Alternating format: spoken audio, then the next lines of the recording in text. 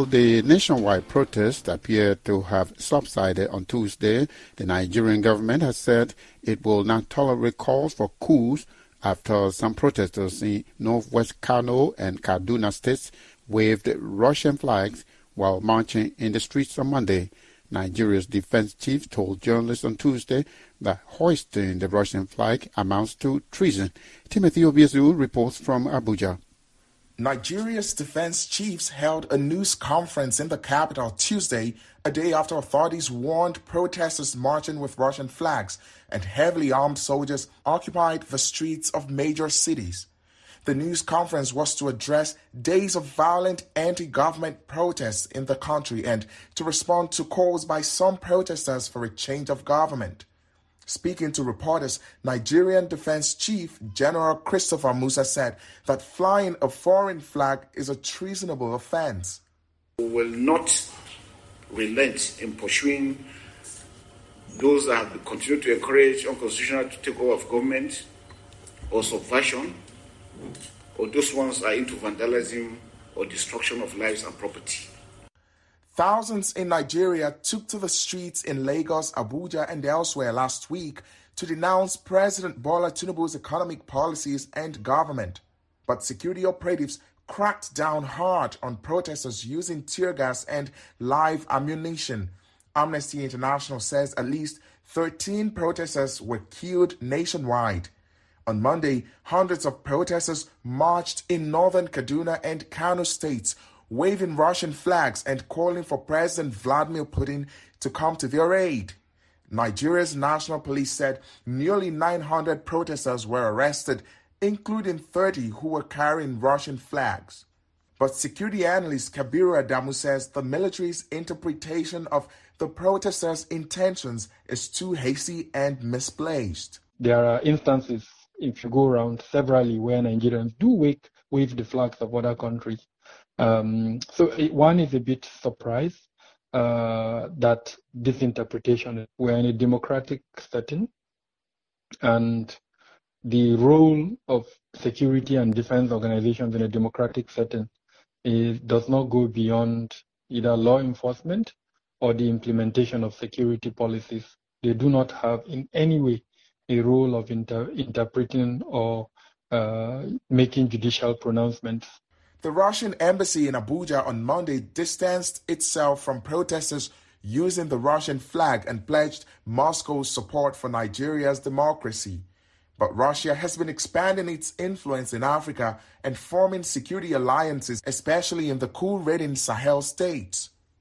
Adamu says the acts of the protesters might be inspired by a growing resentment for Western influence in the region the policies that are being implemented by the Bola Tinubu administration have the backing of Western countries, um, especially the institutions of IMF and World Bank.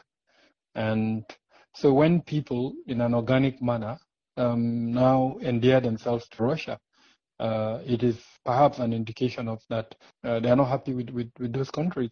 These the policies that were supported by the Western countries, and that um, Russia perhaps may be a better, uh, you know, partner ally. Western nations, including the United States, have said Russia's influence in Africa could set back democratic norms. But political analyst Ahmed Buhari says good governance from local authorities is all that is needed. These people are not oblivious of the fact that um, there is a current wave across the Sahel they listen to the news and they can clearly see that Niger, Mali, and Burkina Faso have um, presented very young leaders who are coming up with very, very strong stance with policies that seemingly look like they're going to benefit the people. And what I expect from the government of the day is to prove to the people that they are better friends to the people than any foreign ally at a time like this. On Tuesday, some protesters gathered in oil rich Rivers State demanding accountability. Nigerian authorities say they'll remain on alert to prevent any dangerous security incidents that may arise. The ceasefire negotiated in Luanda between Rwanda and Kinshasa was broken even before it could kick in after violence erupted between the warring sides in Eastern Democratic Republic of Congo. In spite of committing to a ceasefire from August 4th, M23 rebels began advancing and capturing towns in restive region, notably Nyamilima and Ishasha.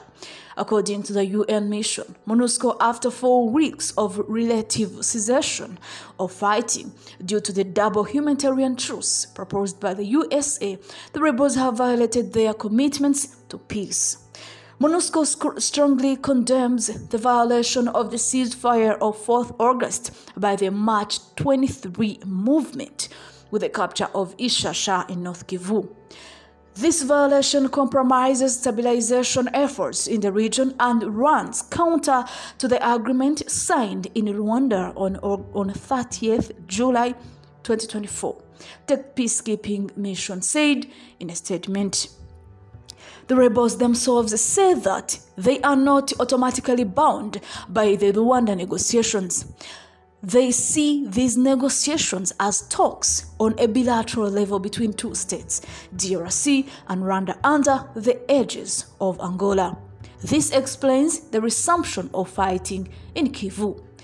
Between Saturday and Sunday, some civil society actors reported violent clashes between M23 and local armed groups in the localities of Kisegulu, Katwigulu, and Kishalo, where at least eight civilians were killed and some inhabitants fled to Uganda, together with some Congolese police officers.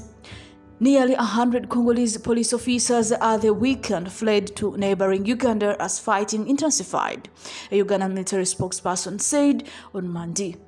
The officers arrived via the Ishasha border crossing in Kanungu district in southwestern Uganda, said Major Kiconco Tabaro, a regional spokesperson for the Uganda People's Defense Forces.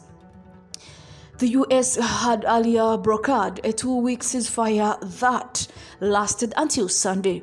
In that too, sporadic fighting was seen even though it was meant to allow humanitarian supply to the displaced. The M23 action is counter to the commitments between Rwanda and the DRC, who mediated by Angolan President João Lourenço.